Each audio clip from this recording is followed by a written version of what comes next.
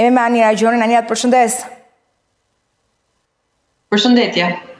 Nuk e di sa e vërtetë është që ne po përjetojmë temperatura të larta, si do të jetë fundjava sepse sot jemi të premten dhe ndoshta po bëni parashikim edhe më tej, por dua të kuptojmë pak së bashku që çfarë ka ndodhur në këtë muaj tetor ku në mëngjes do të duhet të dalim me të gjata Në drekë të bëhemi gati për plazh dhe në darkë prapë pastaj kthehet dimri me temperaturat. Atëherë e nisim nga pjesa që tetori është i ngrohtë, ka ndodhur edhe gjatë viteve të fundit kjo si fenomen që tetori ka qenë me temperatura të ngrohta. Ky vit po vazhdon të qëndrojnë në vlera termike si të atyre minimale dhe të atyre maksimale një deri në tre gradë mbi normën, e cila duhet të ishte e zakonshme për këtë muaj. Nëse i referohemi ditës së sotme, presim që në mbasdite, gjatë pasdites së sotme, pra presim reshje lokale të dobëta ose shumë të dobëta në disa zona malore, kryesisht në juglindje të vendit. Ndërsa për sa i përket temperaturave, përgjatë ditës së sotme kemi pasur një ulje me një grad dhe nesër presim që të jemi në vlerat përgjatë bregdetit, minimalet shkojnë në 17 gradë, ato maksimalet në 26, minimalet e vendeve të ulta zbresin në 14 gradë, ato maksimalet shkojnë në 27 gradë, dhe në zonat malore minimalet luhaten nga 11 deri në maksimalet në 21 gradë. Fundjava presim që të jetë e ngrohtë, me diell pra me mot të qëndrueshëm dhe këto temperatura dhe dielli do të vazhdojnë edhe përgjatë javës së ardhshme.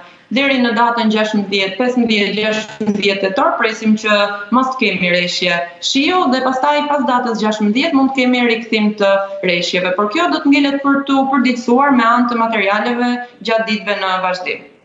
E kuptoj. Pra, temperaturat maksimale, sa do të jenë gjatë fundjavës, si të shtunën ashtu dhe të dielën? 27-28 do të jenë përgjatë bregdetit dhe zonave të të të. Era do të jetë prezent? Era do të vazhdojë të qëndrojë e lehtë deri mesatare. Jo problematike. E kuptoj.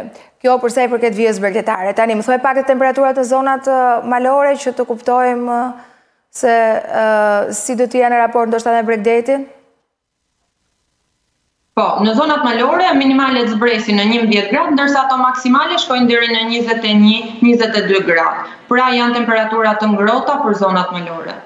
Dhe ne parashikojmë deri në çfarë date, në mos gaboj deri me datë 18 tetor apo më herët, do të kemi këtë mot i cili është me temperatura deri në 27-28 sikurse do të jetë gjatë ditës nesërme apo Edhe pas datës 20, çfarë po rezervon? Se po tentoj tani që të shkoj përtej fundjavës. Nëse e dhamë një lajm të mirë për ato që janë tur operator, për vijën bregdetare, për bizneset të cilat përpiqen që të zgjasin sezonin turistik, meqenëse kemi patur edhe një histori suksesi, sikurse thuhet në kuadër edhe të shifrave, duhet që të kuptoj pak edhe përtej kësaj fundjave, pra si do të jetë ky tetor nëse ne mundemi ta parashikojmë? Do të vazhdojë i ngrohtë deri në fund si muaj, pra ne parashikojmë që të jetë i ngrohtë, por mbas datës 15 presim që të kemi rikthim të reshjeve, çka është normale për stinën. Po, rikthimi i reshjeve do shoqërohet edhe me rënie të temperaturave? Po, por jo rënie drastike. Kjo do të ngelet për t'u përditësuar me anë të materialeve gjatë ditëve në vijim, sigurisht. Tani, çfarë na ka thënë eksperienca e viteve, kur ne kemi një tetor të kësaj tipologjie, të këtij tipologjie që jemi me temperatura relativisht të larta deri në 28 gradë dhe me shumë pak reshje shiu, dimri si do të jetë dhe çfarë presim? Nëse shkojmë pak më tej, pra, pastaj me nëntorin, dhjetorin. është akoma shumë shpejt për të folur për dimrin, për të bërë një parashikim të detajuar për sa i përket muajve të dimrit, pasi uh, nëntori, dhjetori ose edhe janari, shkurti që mund të uh, po do të duhet të përditësohemi me anë të materialeve. Ndërsa për t'iu rikthyer pyetjes tuaj për sa i përket uh, ndryshimit të amplitudave të temperaturave minimale dhe maksimale brenda ditës, çka në kryesisht në kryeqytet na prek më shumë, është për shkak të pranisë së lagështirës së ajrit. Kjo që në mëngjes e ndjejmë më shumë të ftohtin dhe gjatë ditës pastaj temperaturat ngrohen, kjo është edhe për shkak të klimës që kemi një ndryshim të amplitudës së temperaturës minimale dhe maksimale e është e konsiderueshme dhe kjo ndikon sigurisht te shëndeti apo te përditshmëria e qytetarëve. Ndërkohë ka një luhatje drastike se për shembull qëllon që në orët e para të mëngjesit ne që nisim ditën herët, zgjohemi me 16-17 gradë, varet ku i kemi edhe makinat, se po i pate jashtë është tjetër histori që mos keqkuptohet, po i pate në ambiente të mbyllura është pak më lart. Po ideja është, i kemi parë që është me 16, 17 apo 18 gradë, Dhe pastaj në mesditë shohim që kemi temperatura 28 gradë, në mbrëmje prapë zbresin temperaturat, është luhatje me disa gradë kam përshtypjen, çfarë mund të më thuash, sa ka qenë kjo luhatje? Po, kjo është një luhatje amplitudë mes, mes temperaturave minimale dhe maksimale, pra është karakteristike për vendin tonë, Është diku te dhjetë dymbëdhjetë gradë dhe ndodh në të gjithë vendin, si në zonat bregdetare ashtu të ulëta dhe ato malore. E kuptoj.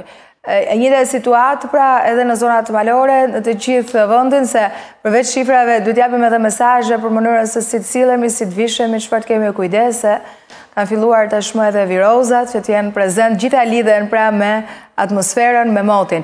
Megjithatë tani lajmi i mirë është që edhe kjo fundjavë do të jetë e shkëlqyer për ata që do ta shfrytëzojnë kryesisht në vijën bregdetare apo ata që duan të shkojnë në mal, temperaturat janë optimale. Më thatë pak më parë që deri në të shtunën dhe të dielën deri në 28 gradë Celsius, nuk gaboj. Pa vranësira dhe pa erë e cila është e bezdisshme. Ky është, ky është përshkrimi. Anja, të falënderoj për gjithsa solle në vëmendje.